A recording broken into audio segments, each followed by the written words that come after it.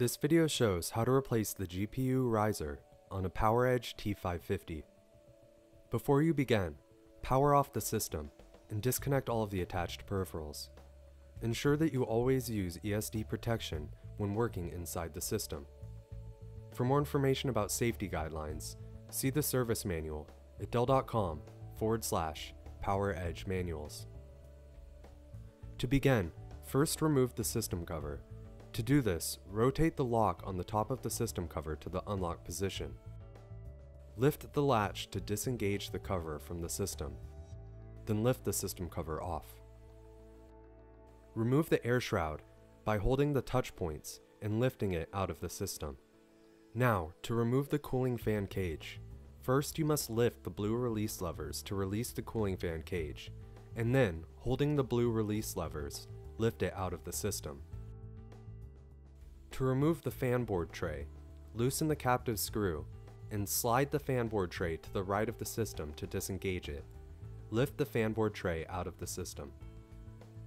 Now, to remove the GPU riser, first disconnect the GPU riser cables from the system board.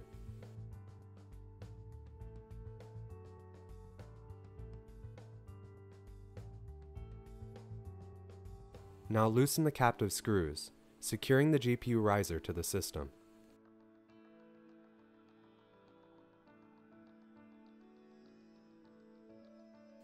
Lift the GPU riser from the system. To replace the GPU riser, align the GPU riser to the slot in the system and lower it until firmly seated. Tighten the captive screws to secure the GPU riser to the system. You can now connect the GPU riser cables to the connector on the system board. To replace the fan board tray, align the fan board tray to the guide pins in the system and slide it to the left until firmly seated. Secure the fan board tray by tightening the captive screw.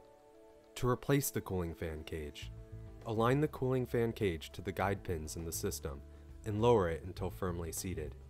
Close the blue release levers to secure the cooling fan cage to the system. To install the air shroud, align the air shroud with the guide pins in the system and lower it until it is firmly seated. Finally, replace the system cover. To do this, align the cover with the guide slots in the system and place it into position. Lower the latch to engage the cover into the system.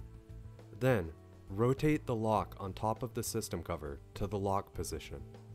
If you need more information or assistance, go to dell.com forward slash PowerEdge manuals.